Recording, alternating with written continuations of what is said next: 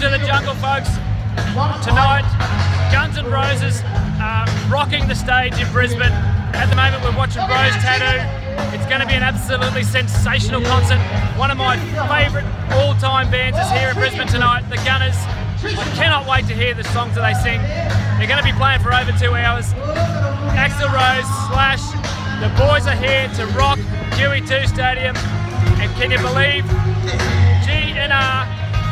Roses, are going to be playing on this stage right behind me in the next hour.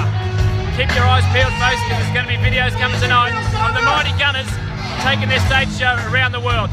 It's unbelievable, folks. I'm so thankful we got tickets. It's an awesome night already. Rose Tattoo in the background. Come on, Guns N' Roses.